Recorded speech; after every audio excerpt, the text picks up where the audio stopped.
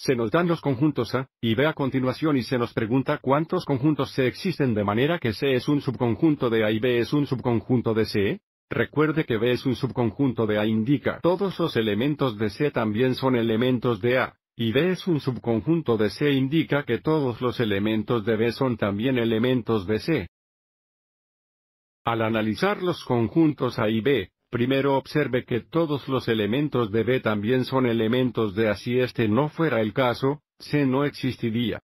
Si B tuviera un elemento, no es un elemento de A y B es un subconjunto de C, entonces C no puede ser un subconjunto de A. Por ejemplo, si B contenía el elemento de 6 y B era un subconjunto de C, no hay forma de que C pueda ser un subconjunto de A porque 6 no es un elemento de A.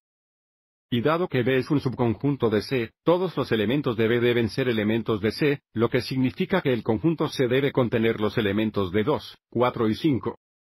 Y como también sabemos que C es un subconjunto de A, para satisfacer ambas condiciones, C debe ser un subconjunto de A que siempre contenga el elementos de 2, 4 y 5. Observe que A también contiene los elementos de 1 y 3, que podemos usar para formar los conjuntos C que son subconjuntos de A que siempre contendrán los elementos de 2, 4 y 5. Así que formemos un conjunto que contiene todos los conjuntos posibles C. Que, de nuevo, son subconjuntos de A que siempre contienen elementos de 2, 4 y 5. Bueno, el primer subconjunto será el subconjunto que contiene solo los elementos de 2, 4 y 5. Este es un posible conjunto C donde B es un subconjunto de C y C es un subconjunto de A, y ahora determinemos los dos subconjuntos de A. Que contienen cuatro elementos y también tienen los elementos 2, 4 y 5. Bueno, un juego C podría ser el juego que contiene los elementos de 1, 2, 4, 5.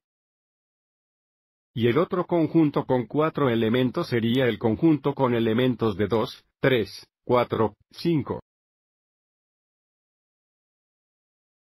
Y finalmente, hay un conjunto C que es un subconjunto de A que contiene los elementos de 2, 4, 5 que tiene 5 elementos, y que sería el conjunto A en sí. Recuerda, un juego siempre es un subconjunto de sí mismo. Así que observen cómo tenemos un, un, total de cuatro conjuntos posibles C donde, si cada uno de estos cuatro conjuntos, C es un subconjunto de A, y B es un subconjunto de C. Así que hay cuatro conjuntos posibles C. Espero que esto te haya resultado útil.